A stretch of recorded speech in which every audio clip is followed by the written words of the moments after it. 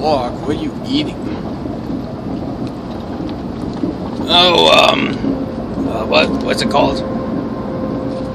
Uh, hot, hot spice, sweet spicy Doritos. Uh, sweet spicy chili Doritos. They're very good. Want some? No, thanks. I'm good. You help yourself. All right, more for me.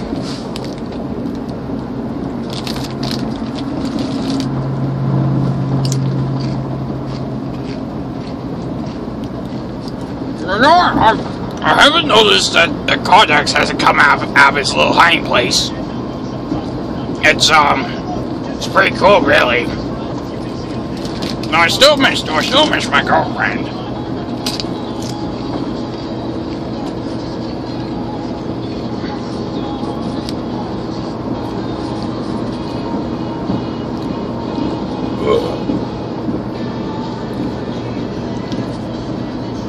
Or could you not? Could you not eat with your mouth up? Could you not talk with your mouth full?